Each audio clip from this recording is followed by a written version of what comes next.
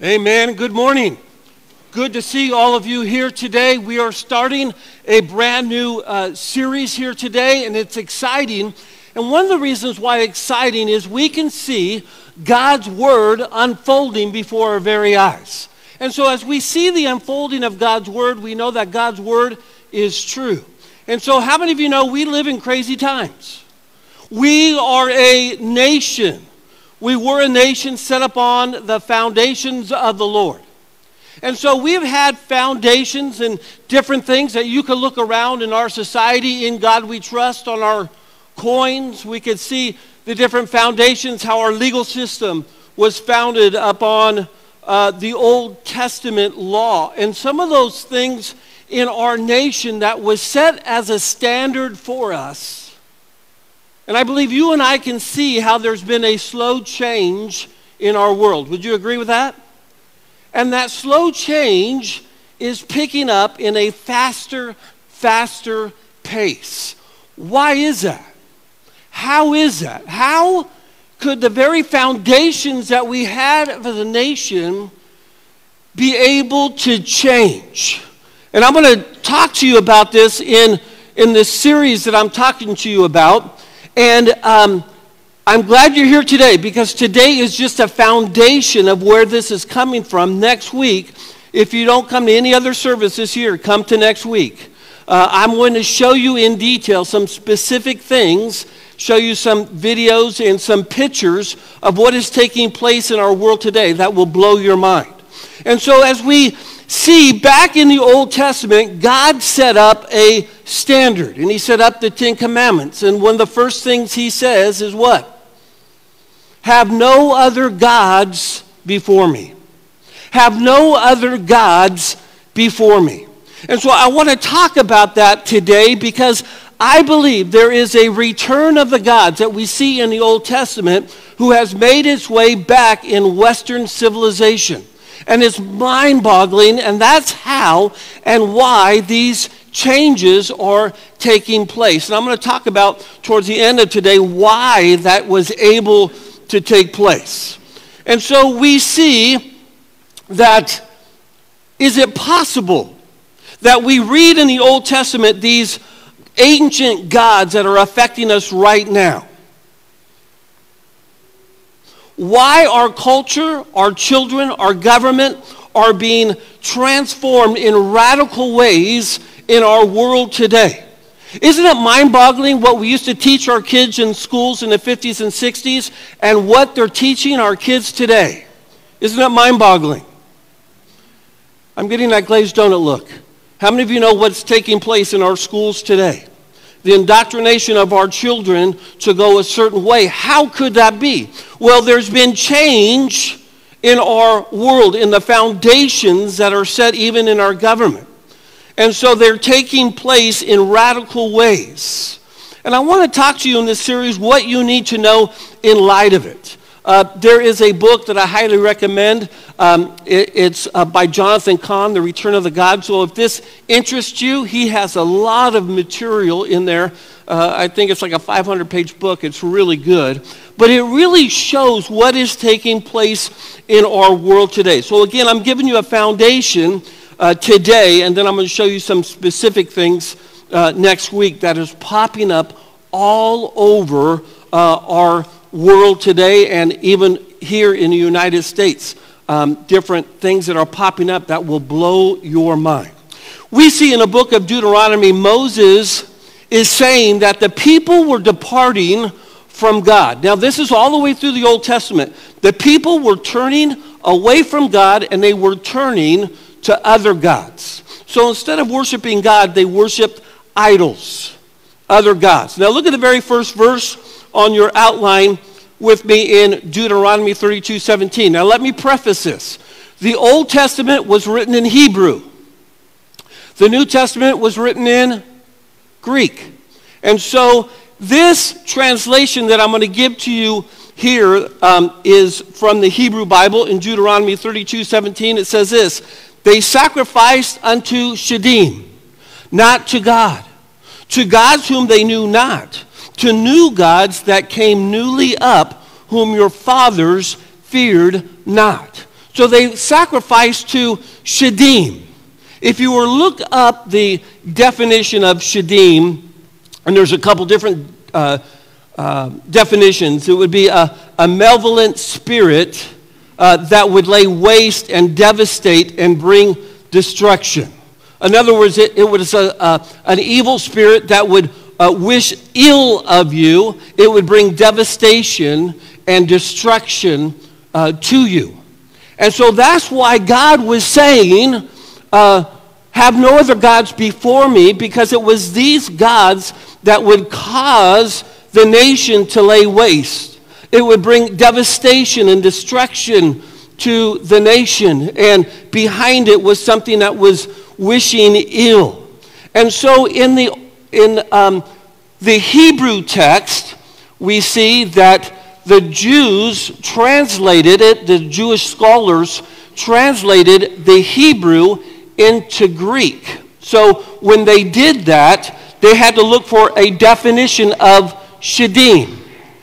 Bless you. And we're going to see that in Deuteronomy 32 17.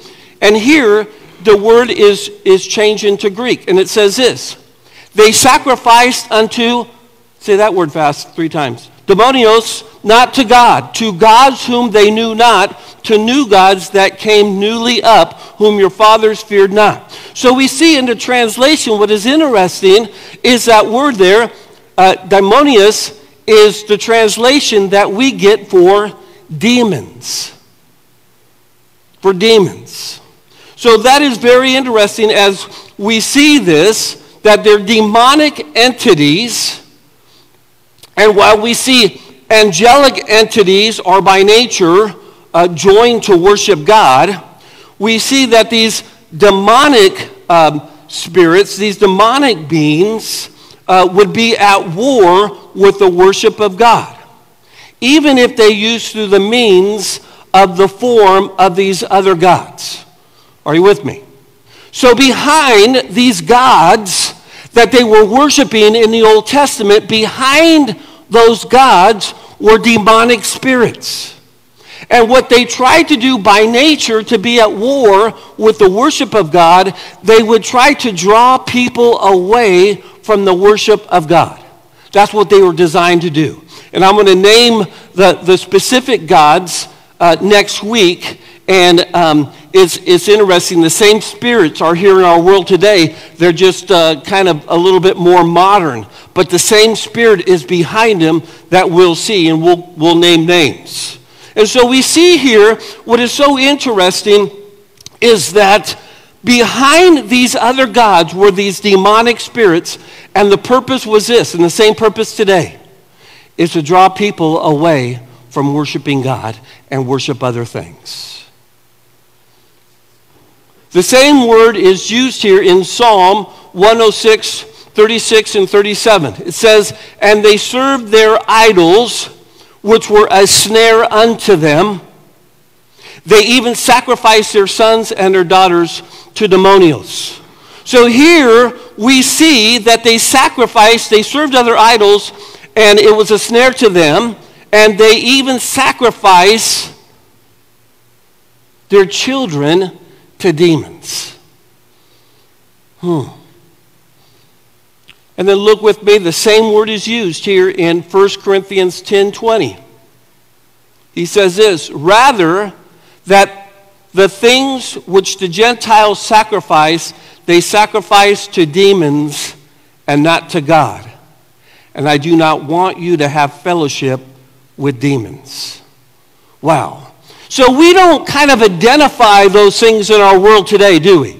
That kind of behind those evil things are, are actually spirits, they're demonic spirits. So the same thing that was taking place in the Old Testament, we've seen, has crept into our nation. Now, I believe we have been a godly nation. Would you agree with that?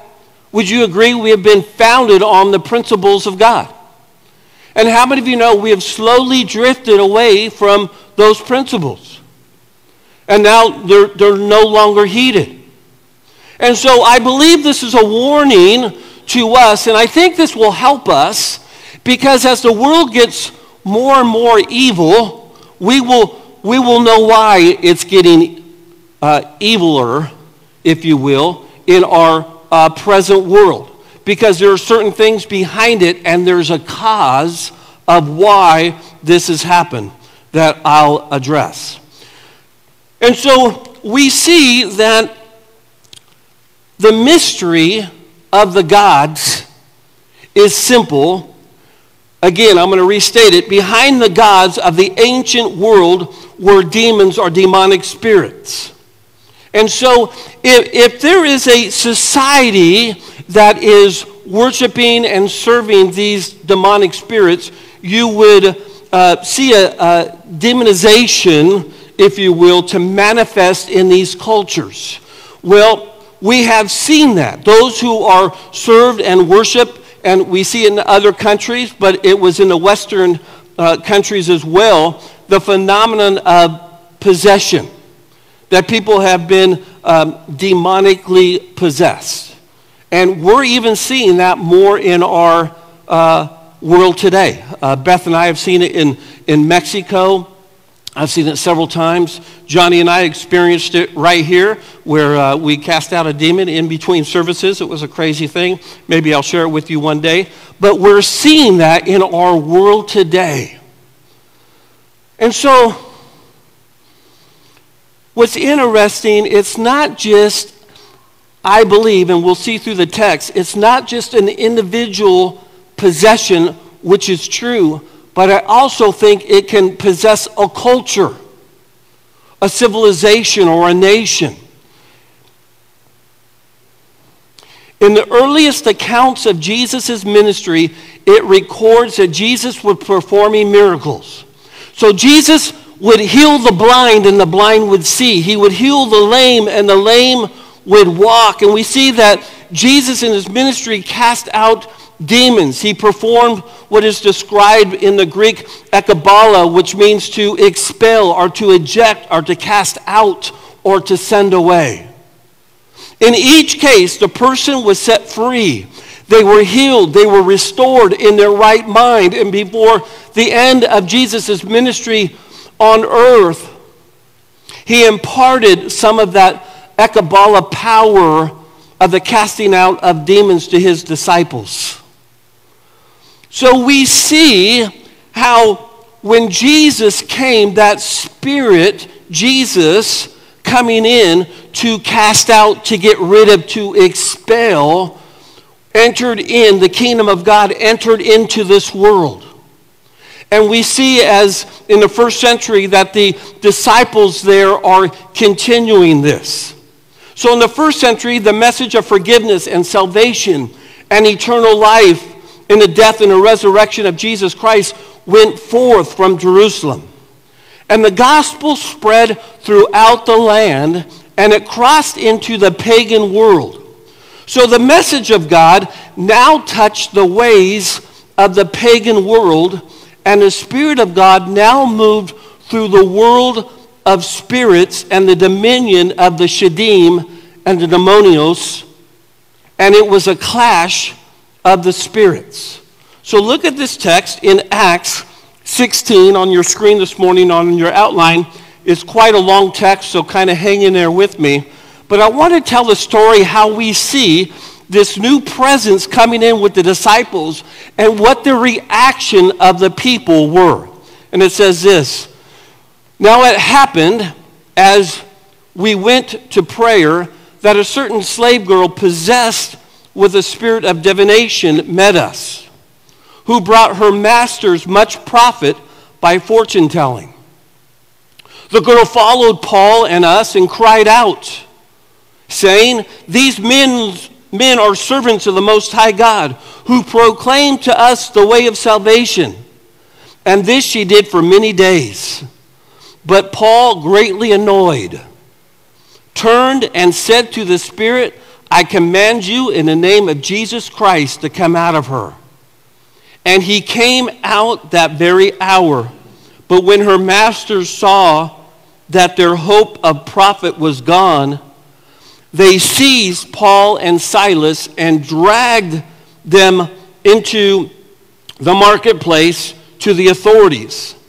And they brought them to the magistrates and said, These men, being Jews, exceedingly trouble our city. And they teach customs which are not lawful to us, being Romans, to receive or observe. Then the multitudes rose up together against them, and the magistrates tore off their clothes and commanded them to be beaten with rods. And when they had laid many stripes on them, they threw them into prison, commanding the jailer to keep them securely. Having received such a charge, he put them into the inner prison and fastened their feet in the stocks. But at midnight, Paul and Silas were praying and singing hymns to God, and the prisoners were listening to them. Suddenly there was a great earthquake, so that the foundations of the prison were shaken, and immediately all the doors were open and everyone's chains were loosed. And the keeper of the prison, awakening from his sleep, seeing the prison doors open, supposed, supposing the prisoners had fled, drew his sword and was about to kill himself. But Paul called out with a loud voice, saying, Do not harm, do yourself no harm for we are all here. Then he called for a light, ran in, and fell down trembling before Paul and Silas. So we see here that Paul and Silas cast out the demon out of this girl that was pestering them over and over again. Paul was annoyed and he cast out this demon out of this girl. Well, the people were in a rage because they got profit from this gal who was fortune telling. And what's interesting, again, in our society, if you drive to Hanford or if you drive to um, Fresno or even here in Visalia, you'll see more and more of these fortune telling things pop up all over. Uh, just the other day, I saw three uh, on a short little drive. And so it is that same spirit behind this that was allowed to come into our nation that was not here long ago. So we're seeing again the spirit behind these things come again. Now listen, when the Spirit of God came in through Christ, the Ekbala power that came in to expel these things, there was a clash.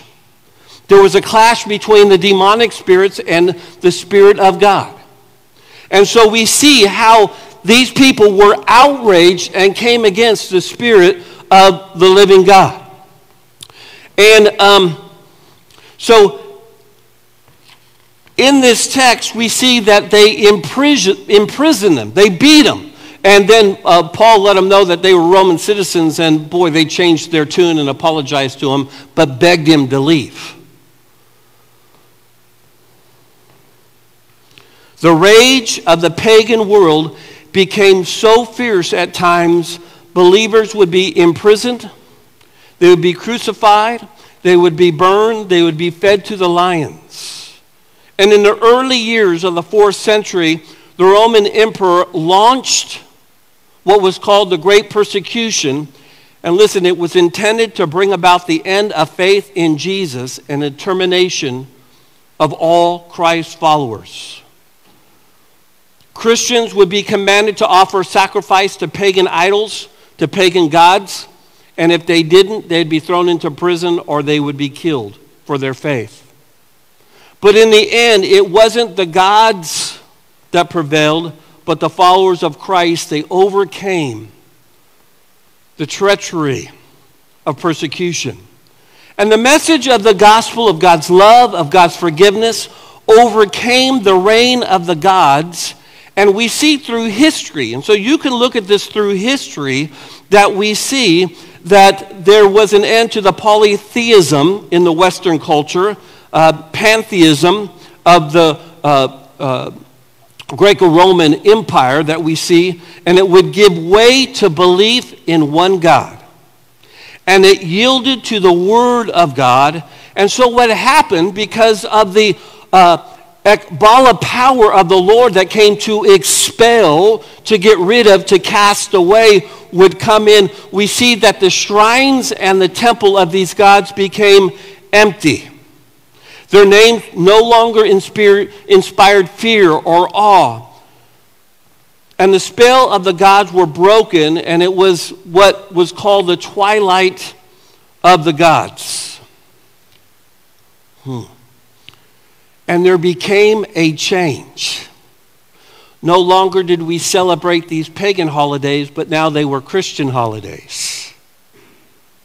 And so, again, you can see that through, through our holidays that we celebrate. They were once pagan holidays that were redeemed, and we've changed them.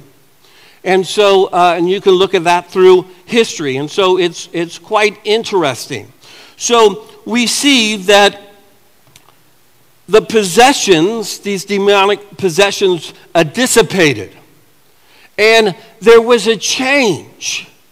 No longer did they sacrifice their children, but they respected the children and they raised the children in a different way. Women who were, were um, uh, compromised in so many ways were now equal in the kingdom of heaven and they were treated as joint heirs in the kingdom of God.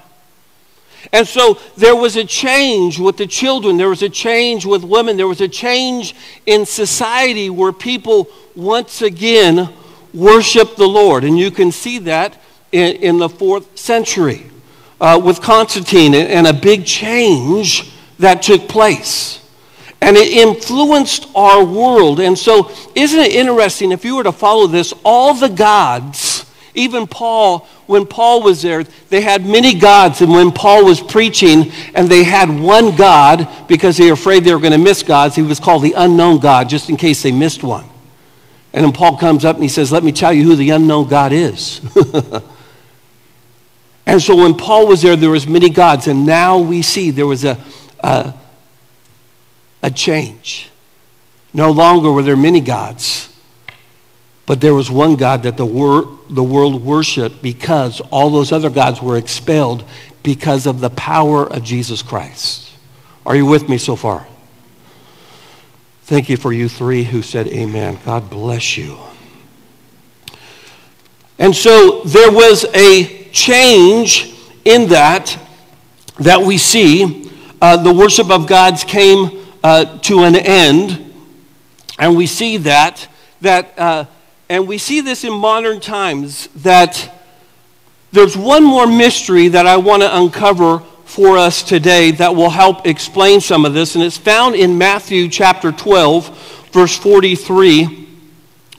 And we're going to go all the way to 45. But let's just go to 44 now. And it says this When an unclean spirit, this is Jesus te- teaching now the disciples, when an unclean spirit goes out of a man, he goes through dry places seeking rest, and he finds none. Then he says, I will return to my house from which I came.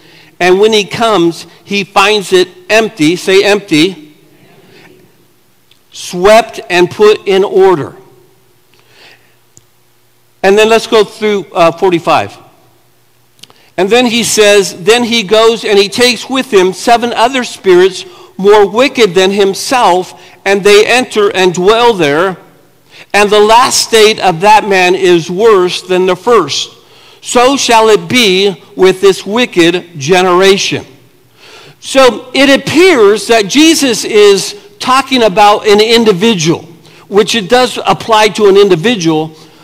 And so he's talking about a possession. And so when somebody is demon possessed, um, and he says they're cast out, when it is clean, they're cleansed, the demons are gone. But if it is empty, say empty. If it is empty, means it is not filled. It has to be filled with God right? With the presence of the living God in that life. If not, if it is found empty, then those other spirits will return sevenfold worse than it was in the beginning.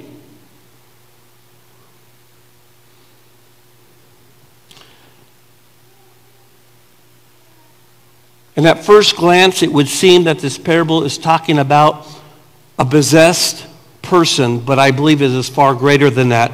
If you look at the last sentence in 1245, he, he shows this mystery and unveils this mystery because he says, so shall it also be with this wicked, say with me, generation.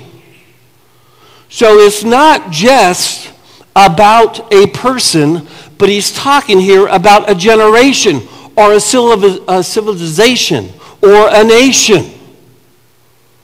Listen, we're that person. We are that person, our nation, who was filled with the foundation of God's Word. Do you know when I was in school, they still prayed? How many of you are old enough to remember when they prayed in school? Well, you guys are old. Yeah, anyway. How many of you how many of you remember when the 10 commandments were in school? How, can, how many of you remember when we were swat with a paddle in school? Woo! Wow, you guys were bad. You guys are in the right place here. God bless you. How many know we should bring back the paddle? Anybody behind me? Anyway.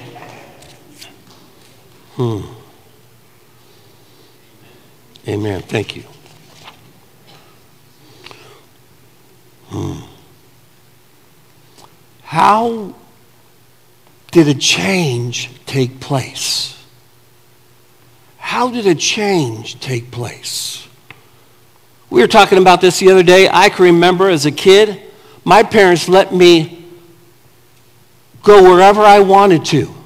And my parents were strict. but they allowed me to play all through the neighborhood.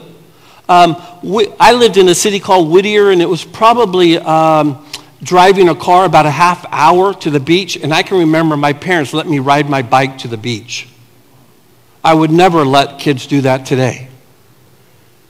Do you know why? Because there's been a change. There's been a change. The things they teach in our world today, there's been a change. How did that happen? Well, let me tell you how it happened in the Old Testament. In the Old Testament, they were serving God. you shall serve the Lord your God with all your heart, with all your soul, with all your mind, right? And so they were called to worship the Lord and worship Him only. It is said, Have no other gods before me. And so, as they were filled with the Lord and they served the Lord, the Lord blessed them. And there was a blessing of the Lord upon the nation of Israel when they served the Lord their God. But what happened is they started to forget the things of the Lord. They started to forget the things of the Lord. And they no longer worshiped the Lord. They no longer were attentive to his word. And the Lord gave them the law, and they didn't look at the Lord's law or the statutes or the covenants. And they got away from it. And then they started serving gods. Listen, Shedim, that brought devastation that brought craziness upon their land. Why? Listen, some people say, you know what? I, I, I don't, I don't want to be a Christian because it's, not, it's, about, uh, it's about a bunch of don'ts. Let me just say this. The Ten Commandments is a love letter to us because it's keeping us from devastation, from desperation, from struggles in our life. He said that for a reason because people were fooled into worshiping other things. They were fooled in getting away from the things of God, and it brought devastation to their land and to their family. And here we are. Here we are in our world today experiencing that devastation in our land because of the same thing that Israel went through. What was it? They turned away from God and His law, and they cleaned the house. Hmm. How did it happen in our land? Anybody know? In the 1960s, the early 1960s, they took prayer out of schools. They took God out of the classroom. Not even the kids pray, but the teachers would lead in prayer, listen, in our public schools. And you can see by history what took place right after, and you can see the, the um, downturn spiral in our nation from that point on. They took prayer out of schools. And listen, they didn't stop there. So here's what happened the house, our nation, was filled with the Spirit of the living God. It was found upon the principles that every time you take out currency, it says, In God we trust. It's the very foundation of our country. And there was a blessing upon God even in our Pledge of Allegiance. And so we see that all through our nation, and then it changed by taking the prayer out of schools because no longer did we follow under the um, theology of Marxism or communism um, those who didn't have a our atheism and we serve the Lord our God. And if you look around now, all those things that are just mentioned has infiltrated our nation. How? One, they got prayer out of schools in the 1960s. And they didn't stop there, did they? Because they used to have in the classroom and they used to have in public squares something called the Ten Commandments. The Ten Commandments. The very thing that Israel got rid of is what our nation got rid of in 1980. And so, what was happening is our nation, who was filled with God, who stood upon the foundation of the living God, who was the sender of missionaries all over the world, has now changed. And so it went to the Supreme Court several times of getting the Ten Commandments out of the schools and then out of the public squares. Listen, it's illegal to post the Ten Commandments in a public square. Isn't that crazy?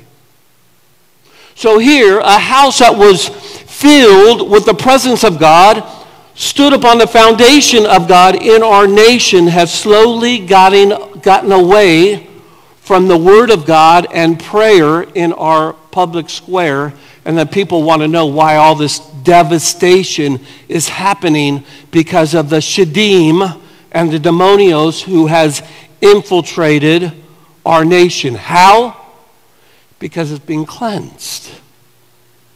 Our society and our political system has done everything it can to get rid of God and the Word of God. Boy, it got real quiet. But how many of you know that's true?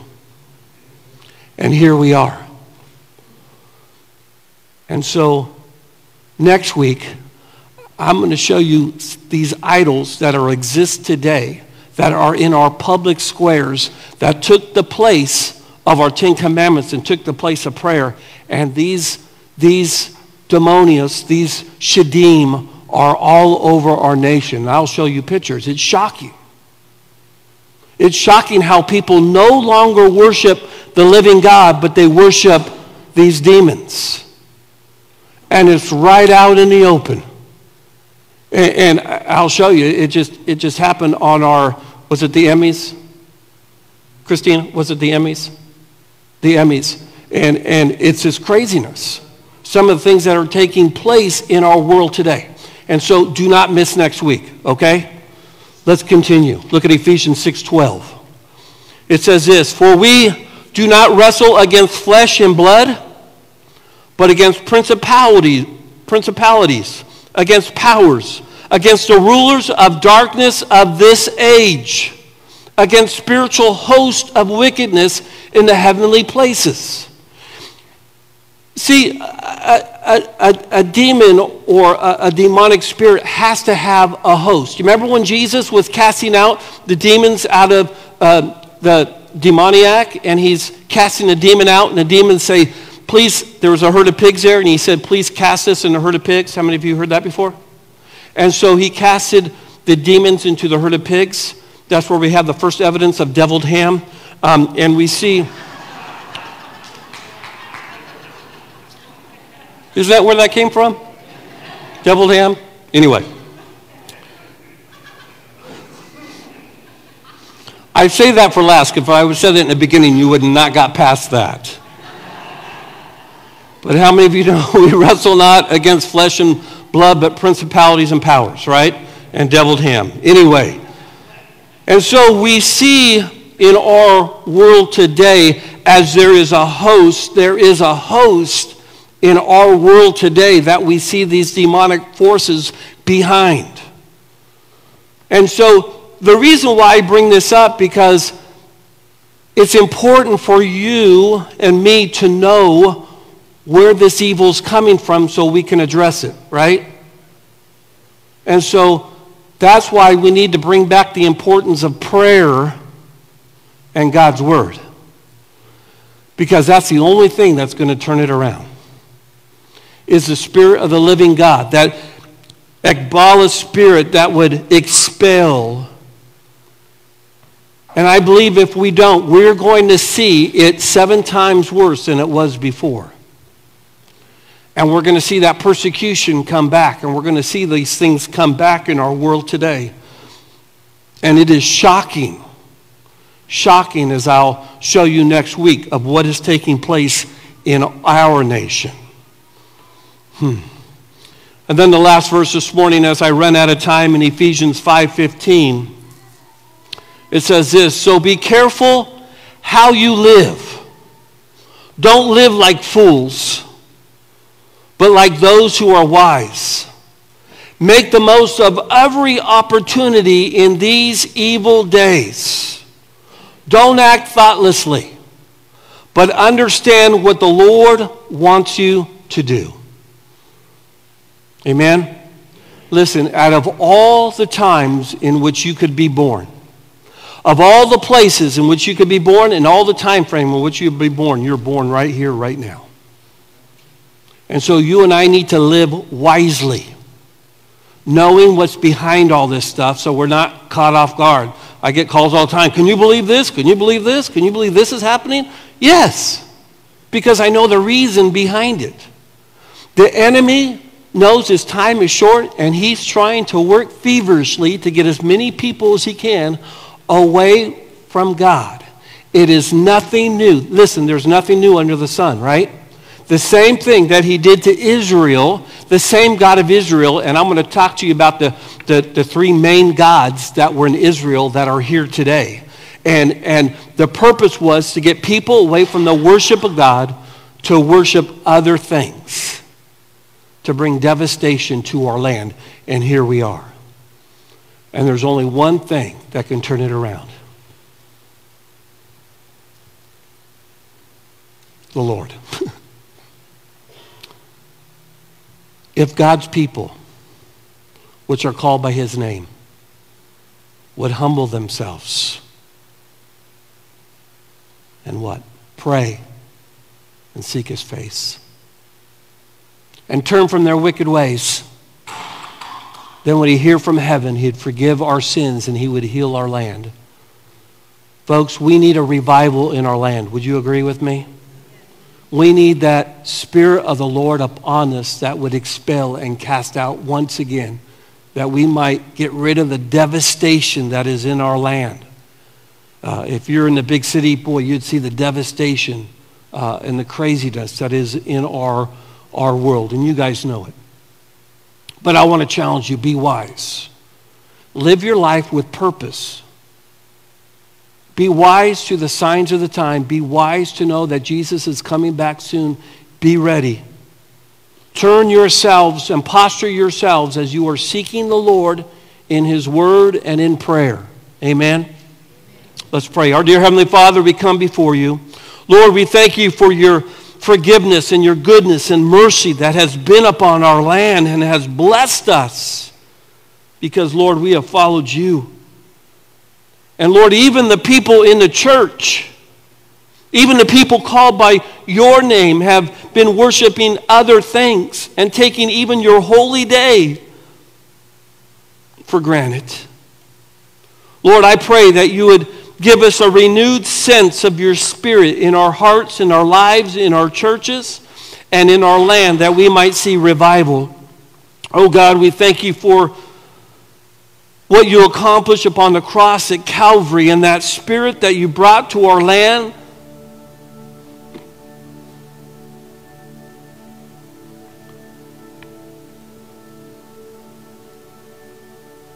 That move these spirits of our land out. Lord, we need you. We need you in our hearts and in our lives and in our children and in the next generation. We need you in our country. We need you in our White House, in our legislatures, in our school boards.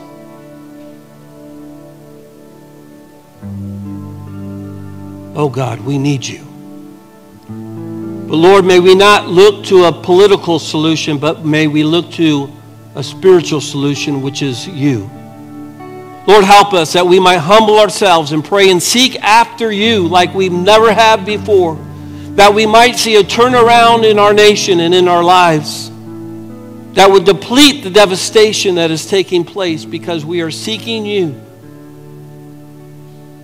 Lord, may we have no other gods before you.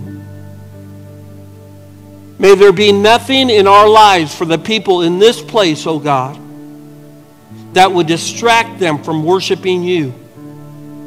Lord, that we would come together on Sundays and Lord, we would focus upon you. And may it be a time of aligning ourselves for the rest of the week that we would put you first and foremost every single day.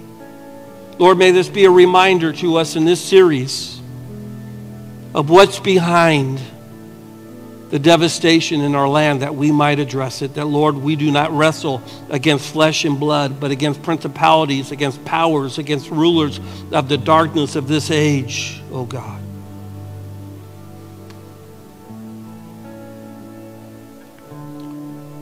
Lord, give us the strength to fight the good fight of faith.